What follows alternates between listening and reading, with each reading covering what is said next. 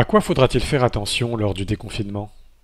Il faut, les choses les plus importantes, c'est la distanciation sociale, être éloigné les, uns des autres et se laver les mains. Ça, c'est vraiment, vraiment, vraiment primordial. Quand on ne peut pas être en mesure d'avoir une distanciation sociale suffisante, quand on est obligé d'être à moins d'un mètre des collègues, là, le masque est intéressant.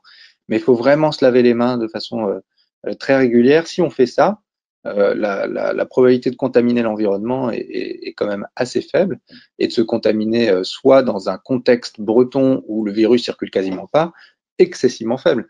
Donc euh, oui, on peut être rassuré et il faut euh, non pas retourner à une vie normale parce que justement la vie sera euh, beaucoup plus rythmée par des, des mesures d'hygiène comme celles que je viens de citer, mais retourner à une activité euh, qui permettent à tous de, de, de, bah, de s'épanouir euh, et puis d'être en bonne santé. Hein. Vous savez que sur le déconfinement, on, on dit mais pourquoi on déconfine maintenant Si on déconfinait après l'été, on est sûr que la maladie serait partie. Oui, mais en, en restant confiné beaucoup plus longtemps, il y a beaucoup plus de risques sanitaires parce que les gens viennent plus consulter, ils viennent plus voir les docteurs, ils ont une pénurie de médicaments, etc., etc. Donc le risque est beaucoup plus important, même au niveau sanitaire.